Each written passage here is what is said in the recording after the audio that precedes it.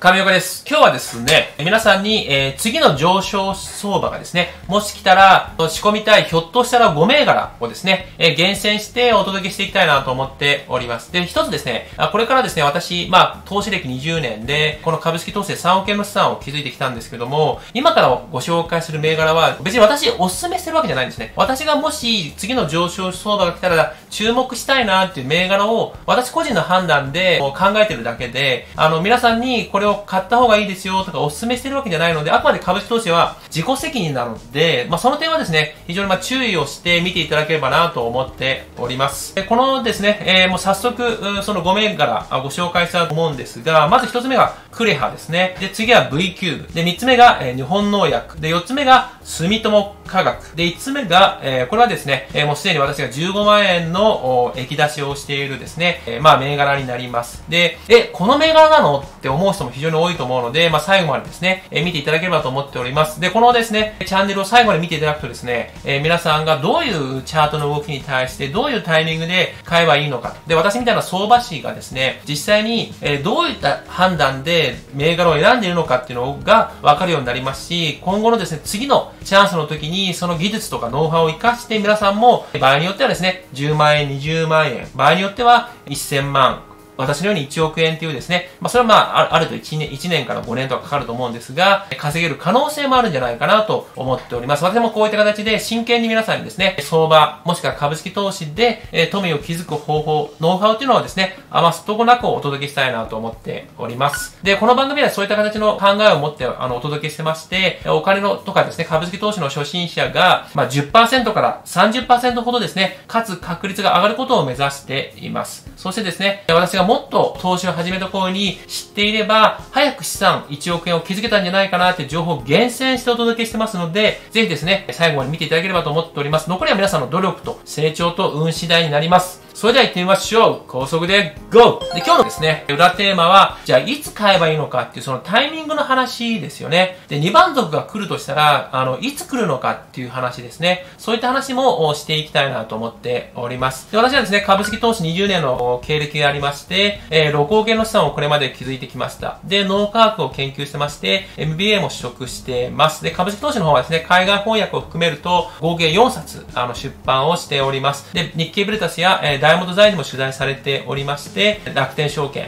トレジャーネットで合計3億円の資産を供用している現役の投資家にもなります。まあ、失敗も多く毎日してますので、そういった学びとかですね、経験、もしくはですね、気づいたこともどんどんシェアしていきたいなと思っております。それでは、え、高速で GO! はい。で、えー、まずはですね、一つ目の銘柄が、えー、クレハになりますね。で、こちら中堅の化学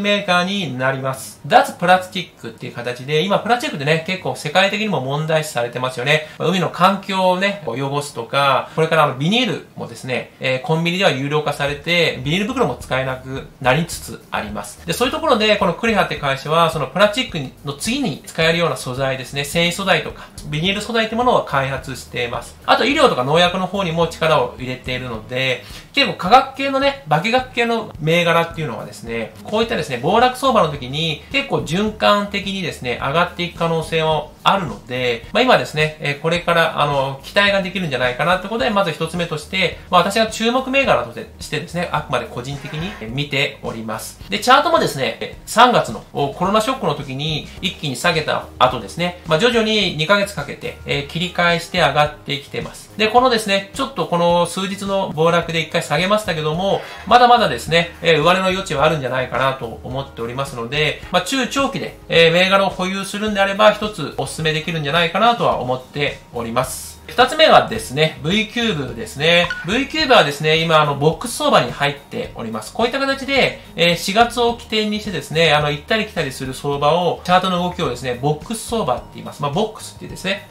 こういったですね、上値と下値をですね、えー、上値の抵抗線と下値の抵抗線の間をですね、まあ非常に抵抗線が高い、強いので、この間の行ったり来たりするっていうのをですね、ボックス相場と呼んでおります。で、このね、間で下値で買ってですね、上値で売ればですね、えー、結構その間の利益っていうのは確定しやすいんですけども、まあ V キューバーでそういった中でも、ちょうど真ん中あたりになるので、まあこれからのですね、上げ相場に対して、もし来るんであれば、え期待できるんじゃないかなと思っております。でね、あの、銘柄のの内容もですね、えー、ネット会議システムを、まあ、提供してまして、これからですね、えー、5G が、あのますますですね、えー、世の中を騒がしてくると思うんですけども、おそらくね、VTuber ですね、まあ、日本の国産の企業になりますが、まあ、遠隔集中治療とかですね、5G を活かした、まあ、そういった動画を、まあ、ね、コンテンツをですね、配信していくような方向にもですね、えアニュアルレポートとか、決算書を見る限り進出していくっていうことが読み取れるので、まあ、ここはですね、一つ、まあ、あの、ご紹介しておきたいなというところで、え皆さんに提供させていただきました。これもあくまで自己責任ですけどね。で、次はですね、え日本農薬になります。で、農薬ですね、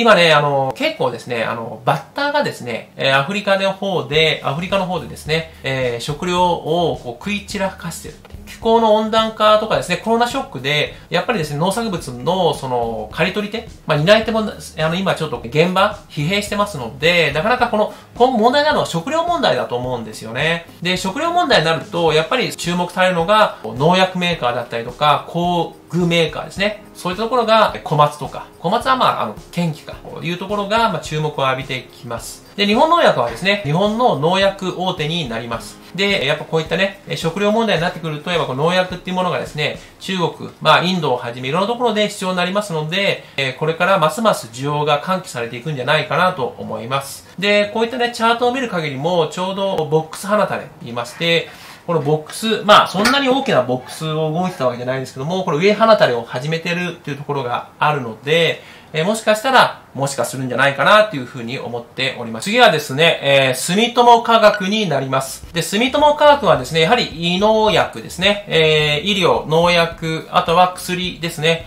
えー、ここに集中してですね、投資をしている会社になります。えー、まあ、サウジなどね、シンガポールにも海外展開も非常に早めている、日本のですね、化学メーカーになります。で、やはり同じようにですね、先ほどの紹介したですね、クレハと同じような形で、3月から4月のコロナショックにかけて、一旦そこを打った後ですね、徐々に切り返して、うねりながらですね、25日線ですかね、に沿って、上値を切り返してきてます。で、下の抵抗線ですね、非常に強いですよね。こういった下の抵抗性が非常に強いので、下値にね、支持されながら、徐々に上に上げていくんじゃないかなと思っております。またゴールデンクロスを若干してる傾向があるので、25日線と75日線、ちょっとこのチャートに中にね、その25日線と75日線ってことははっきり書かれてないので、皆さんの方でですね、えー、ちょっとちゃんと調べてほしいんですけども、まあおそらくこれをゴールデンクロスになりつつあるんじゃないかなと思います。これ今気づいたんですけどね。なので、まああの、そういった意味からもですね、えー、テクニカルな分析をする限り、もう買い手もですね、中長期で見ればお得なんじゃないないかなとは思っております。で、最後ですね、えー、こちら、ちょっと先ほど冒頭ではですね、黒丸で表示していたんですけども、こちらになります。電通株ですね。で、電通株ですね、あの、結構驚いたのが、あいろんなね、YouTube チャンネルとか、まあ、雑誌とか見ると、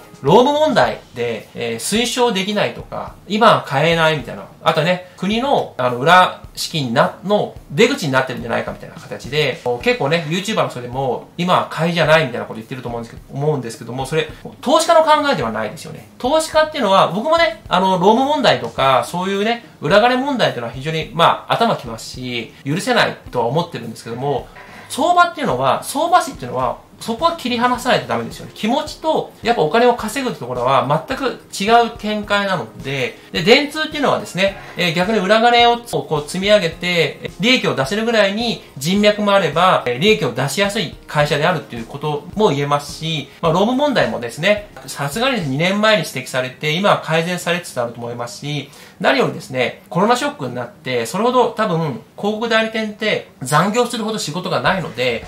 おそらく今現時点では解消されてると思います。で、そうなってくると、今後は上げていく可能性もあると思いますので、えー、やっぱり電通っていうのはですね、日本を代表する広告代理店で一点集中の、まあ、最強の企業ですよね。で、まあ、あの、同じような形で、まあ、コロナショックからですね、右肩上がりで上がってきてますので、まあ別にね、労務問題とか、まあそういったものは株とは全く関係ないので、ここは私はまあ将来、えー、上がっていく可能性もあると思いますし、何よりですね、私自身が、えー、1回電通で今年に入って、まあ15万から20万ぐらいの利益を出してますので、まあ引き続き注目していきたいなとは思っております。はい。で、こういった形でですね、私が注目する銘柄をご紹介したんですけども、最後に、じゃあ、買い場はいつ来るのかっていうところになるんですが、まあですね、えー、4つぐらい会話が来るとすると、まずはですね、今後、上場企業が倒産をする可能性があると思っております。特にですね、電気大手ですよね。あの、まあ、パナソニックとか富士通をはじめとする、まあ、電気大手って非常に苦しんでるので、まあ、東芝もそうなんですけども、まあね、これは皆さんに調べてほしいんですけども、もしかしたら、まあ、7つぐらいある日本を代表するですね、電気大手のどこかが、まあ、倒産、身売りってことが今後起こってくる可能性があります。あとソフトバンクとかもわからないですよね。今後の動きっていうのは、まあ、注目する必要があるかなと。こういった形で、まあ、市場を混乱させるような大型倒産があった場合っていうのは、株式市場が、まあ、暴落する可能性もあるかなと思います。あとはですね、東京都の感染者の増加ですよね。今また増えつつあるので、これによってワクチンが開発される前にコロナも第2波が起こった場合ですね。この場合は、今ですね、世界経済成長率が7.6%ほど下がるって言われてるんですよね。これはあの、国連がそのような形で発表しています。で、え、第2波がない場合でも6%程度、え、世界の経済率が下がると言われてる中で、さらに7.6%、まあ1.6%上がる、その、下がる、下がる率が上がるってことなので、やっぱ第2波が起こるとですね、より経済が引き締まりますし、原油も落ちますし、アメリカや日本のですね、あの政府、もしくは選挙ってものが混迷をきたすので、株価っていうのはですね、混乱をして下げていくってこともあるんじゃないかなと。こういうところで、え買いを入れていくっていうのは、あ賢明な方法ではないかなと思っております。これはですね、でも逆張り、まあ、落ちてきたナイフを掴む方法なので、逆に上がっていくところをですね、その、上がっていく時もですね、一直線で上がるとかそんなないんですね。あの、小型株は別ですけども、ある程度中型株、大型株っていうのは、こう、うねりながら上がっていくので、このですね、25日線とかのですね、まあ、今度25日線の使い方とかも話をしようかなと思うんですが、に沿ったですね、上昇してるんであれば、この小さな下がりを買いつまんでいくっていう方法も、まあ、有効ではないかなと思っております。はい。今日はこういった形でですね、えー、皆さんに推奨銘柄をお話しさせていただいたんですが、あくまでこれは最後もう一度念押しをしますと、もしかしたら損するかもしれない。私もね、損ももちろんたくさんしてますので、あくまで自己責任で、えー、そこは判断していただければなと思っております。でこういった形でですね、えー、皆さんにあのいろいろチャートの動きとか、その銘柄のですね、分析の方法を初心者にもわかりやすくご紹介しておりますので、ぜひですね、いろんなチャンネルをですね、私の番組を見ていただければなと思っております。あとはですね、コメントとか質問とかいただけたら、必ず今お答えしてますので、えー、ぜひ、どしどしお寄せいただければなと思っております。今日は以上です。高速で GO!